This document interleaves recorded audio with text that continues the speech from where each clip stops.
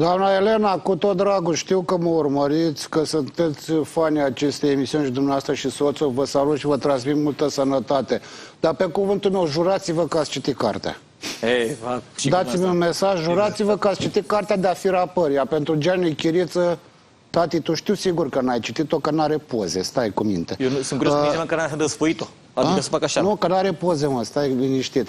Și totuși ce facem? Că uite, vezi, începe, are o campanie, domnul Joană, el nu știe ce va face, dar vrea să facă. Domnul Guran, cu milionarii, cu chestii, cu a... Vine domnul Joană pe turnantă, tot vă, vă arată pisica domnul Ciolacu, că și domnul Ciolacu a zis, domnule, că dacă a, noi cu a, și vedem noi cum facem.